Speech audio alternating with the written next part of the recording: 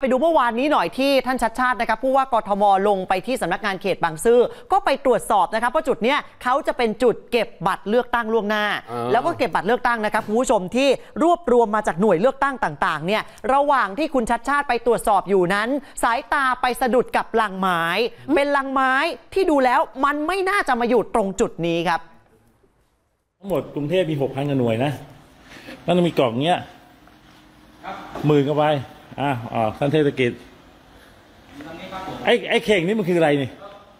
อุปกรณ์ขนย้ายเลยอ๋ออุปกรณ์ อันนี้ไม่รู้นะ no comment อ่าอันนี้คือ อันนี้คือถังขยะบัตรเสีย บัตรดีบัตรเสีย เอาไว้ตอนนับคะแนนใช่ไหมคุณชัดชาติบอกเลย no comment นะ เออ no comment ดูแล้วข้อใดไม่เข้าพวก เข่งไม้พวกนี้ทำไมมากองรวมอยู่กันกับกล่องเก็บบัตรเลือกตั้งล่วงหน้าล่ะเนี่ยบรรยากาศช่วงเนี้ยเอามาให้ดูนะครับคุณผู้ชม เมื่อช่วงเช้าวานนี้เลย คือฝนเนี่ยมันตก ฝนตกคุณชัดชาติก็ไปสำรวจความเรียบร้อยหน่อยสายตาไปสะดุดตา เข่งไม้ วางเรียงรายกันอยู่ก็หันไปถามเจ้าหน้าที่ อันนี้เข่งอะไรคำตอบก็คือ เข่งขนอุปกรณ์การเลือกตั้งฮะเข่งเหรอฮะเข่งขนบัตรเปล่าไม่ใช่ เข่งขนอุปกรณ์อุปกรณ์ขนบัตรเนี่ยอุปกรณ์จะอยู่ในกล่องแบบนี้กล่องพลาสติก แต่อุปกรณ์อย่างอื่นเนี่ยจะไปอยู่ในเข่งแบบนั้น พอคุณชัดชาติได้ยินเสร็จปุ๊บแฮ่ no comment แข้งเลยคือมันมาตรฐานเดียวกันกับตลาดป่าเอออะเดี๋ยวเดี๋ยวอะไรฮะรอคล่องแคล่ว อันนี้ยืมตลาดไทยมาใช้ปะได้หมด ก็เขาบอกว่า เฮ้ย เข่งพวกนี้มันควรจะไปอยู่ตามตลาดเข็นผัก ตลาดสด ตลาดไทย ตลาดสำโรง แบบนั้นหรือเปล่าทำไมมาอยู่ตรงจุดนี้ เขาประหยัดงบให้พวกเราไหม เออใช่ไหม นี่ ไม่ต้องประหยัดเอาเหรอ ชอบก็จัดจะประหยัดทำไม แล้วยังมีตะกร้าให้ไปหกพันล้านแล้ว ตะกร้าพลาสติกแบบนี้ด้วย ชาวเน็ตถามทันที นี่ไปช็อปร้านทุกอย่าง 20 บาทมาหรือยังไง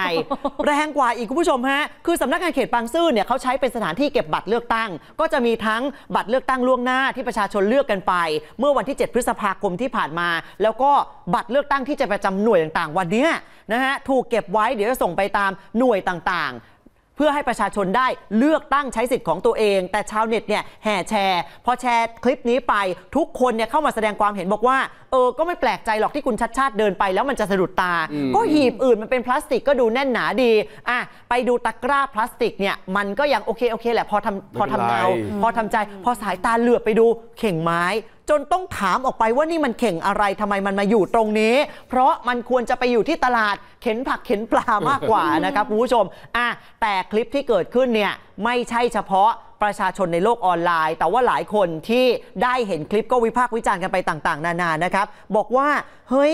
ทำไมอะทำไมไม่เลือกใช้อุปกรณ์ที่มันเหมาะสมกับงบประมาณที่กกตได้รับไปกกตได้งบเท่าไหร่ฮะพี่ต้น เกือบเกือบหกพันล้าน เกือบ 6,000 ล้าน เอาตัวเลขที่ชัดๆ ไปแล้วกัน 5,945 ล้านบาทฮะ การจัดการเลือกตั้งครั้งนี้ใช้งบประมาณเกือบ 6,000 ล้านบาท เพื่อให้เป็นไปด้วยความเรียบร้อยและมีประสิทธิภาพ แต่หลายอย่างออกมาเป็นไปตามภาพเลยนะครับ คุณผู้ชมว่ามันไม่เหมาะสมกับงบประมาณฮะ Facebook เพจขยะ มรสุม อันนี้ชื่อเพจเขานะค่ะเอาภาพอุปกรณ์เลือกตั้งมาโพสต์ พร้อมกับข้อความบอกว่า มีเจ้าหน้าที่กกตบางคนเนี่ยบอกว่า ใช้แพงก็ด่า ใช้ถูกก็ด่าอ๋อความจริงก็คือควรใช้ให้เหมาะสม และทำให้ประชาชนเชื่อมั่นเท่านั้นเอง มันยากมากเลยเหรอที่แค่ทำหน้าที่ให้ดีให้เหมาะสม ให้ดูน่าเชื่อถือ และทำงานกันอย่างโปร่งใส ขณะที่ชาวเน็ตเข้าไปคอมเมนต์ผ่าน Facebook ของสำนักงาน คณะกรรมการการเลือกตั้งหรือกกตส่วนใหญ่บอกว่างบ 6,000 ล้าน แต่อุปกรณ์เหมือนซื้อมาจากร้านทุกอย่าง 20 บาท บางคนบอกว่าเจ็บปวดท่านใช้งบประมาณเนี่ยไปบินดูงานประเทศนั้นประเทศนี้ทุกทวีปทั่วโลก หมดไปกี่ล้านก็อีกแค่ซื้ออุปกรณ์มาขน อุปกรณ์เลือกตั้งเนี่ยฮะโหต้องจำกัดจำเขียดถึงขั้นไปเอาเข่งไม้เลยเหรอ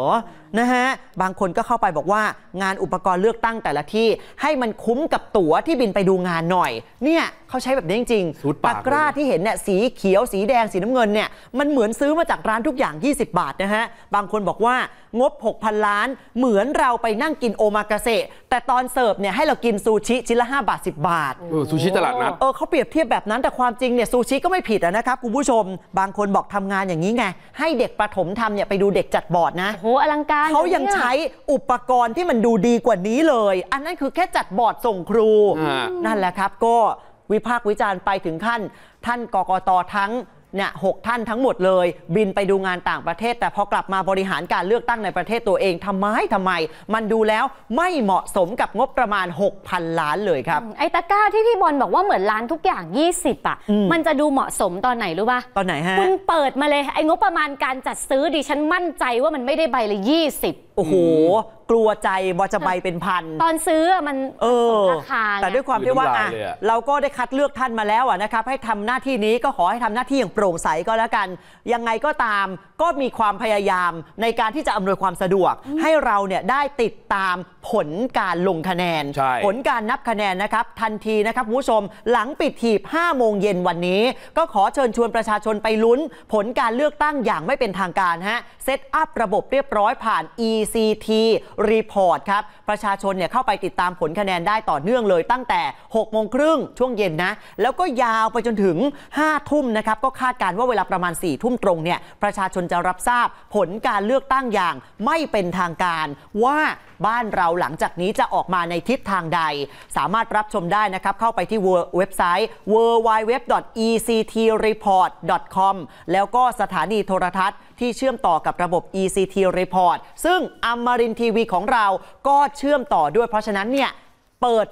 34 HD ได้ตลอดทั้งวันเลยฮะ หลังปิดหีบเออเออจะรอกกตก็รอได้นะฮะ แล้วครับหลังปิดหีบเนี่ยอยู่กับหน้าจอช่อง 34 HD ค่ะเอ่อ34 HD ครับนะฮะ เราก็จะรายงานตั้งแต่ปิดหีบเลือกตั้งเลยนะครับ บรรยากาศเนี่ยจะจะมีการรายงานแบบคะแนนต่อคะแนน ให้ท่านได้ทราบเนี่ยผ่านทางหน้าจออมรินทีวีนะครับ